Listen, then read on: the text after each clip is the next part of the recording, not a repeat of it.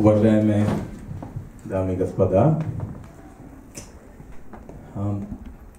Я, по-моему, не ошибусь, если я скажу, что сегодняшний вечер это исторический вечер. Потому что вот именно все, что связано с поэзией, вот я думаю, первый, когда вот организуется именно на такой уровне, именно когда у нас сразу нескольких а, стран поездить будет сегодня а, как-то мы как-то послушаем. Вот. Мне кажется, что такие вечера это очень необходимо для того, чтобы а, понять а, межнациональные, межкультурные всякие отношения.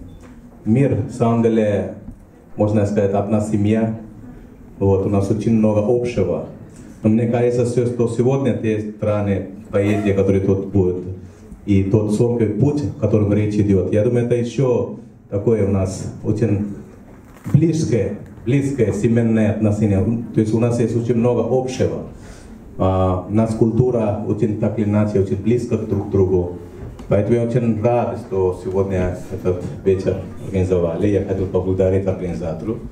Вот. И мы, мы всячески поддерживаем присутствует нас э, представители из культурного центра еще. Я хочу пожелать от культурного центра, от посольства Индии, всех, всем вам приятного вечера.